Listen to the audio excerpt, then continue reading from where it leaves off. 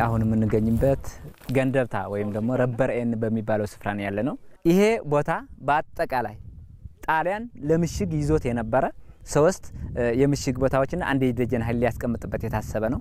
ከዚህ ምሽጋቸው እንዴት እንደወጡ ስናየው የኢትዮጵያ የስለላ አቅም ተጨምሮበት የኢትዮጵያ የ war strategy ወይም ደግሞ የጦርነት ስትራቴጂ ተቀርጾ ከዚህ ከምሽጋቸው አስወጥተው ሌላ ቦታ ነው ጦርነት የፈጀዋቸው።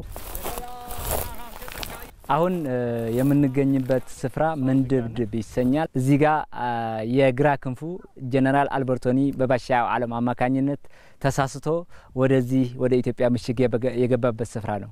እዚህ ስፍራ ላይ የመጀመሪያ ጥይትም የተተኮሰችበት የመጀመሪያ የአድዋ ጦርነት የተጀመረበት ቦታ ይባላል።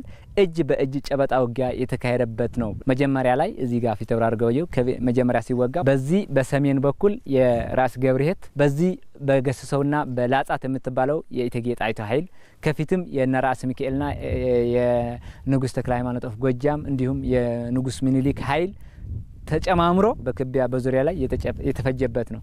ሌሎኞቹ የተማረኩም እዚህ ነው። በእጅ ተማርከው ጀነራል አልበርቶኒ ራሱ የተማረከበት ስፍራ ነው። ጣሊያን ወደ 56 የሚያህሉ መድፎች ይዞ መጥተው ነበር ወደ አድዋ ጦርነት ኢትዮጵያን ለማንበርከክ። ከ56ቱ አንድ የሆነ የጣሊያን መድፍ ነው። ይሄ ትልቁ መድፍ ነው። እዚህ ላይ አሁን በቅርስነት ተይዘዋል። ይህ ቦታ ደግሞ ማርያም ሸዊቶ ይሰኛል። በአድዋ ጦርነት ላይ ሶስተኛ የጦር አውድማ ነው።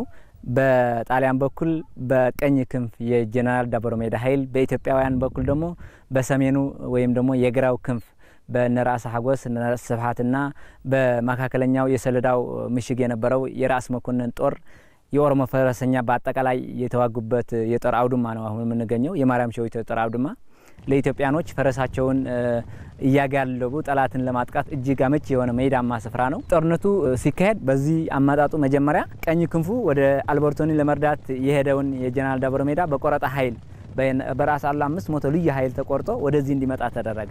እዚህ ጋር ሌላ ጦርነት ተከፈተለት። ማርያም ሸዊቶ ላይ መጨረሻ ላይ በጣም በትምክትና በትዕቢትን ተወጥሮ ኢትዮጵያን ለመመዝበር የመጣ ጀነራል ዳቦሮ ሜዳ የተቀበረበት ስፍራ ነው የምንገኘው። ከጦርነቱ በኋላ የሞቱትን ሁሉ በጅምላ ላይ እስካሬን መቃብር አድርጓል። ይሄ መቃብሩ የጅምላ መቃብር ነው። ጠላትን የተቀበረበት ኢትዮጵያዊ የሰብአዊ ርኅራኄ የተላበሰ ሕዝብ እንደሆነ በጅምላ ላይ ጠላትም ጭምር የቆሰለውን ያከመበት፣ የተራበውን የመገመበት፣ የሞተውን የቀበረበት በጅምላ የተቀበረበት ትልቅ ጦርነት የተካሄደበት ነው።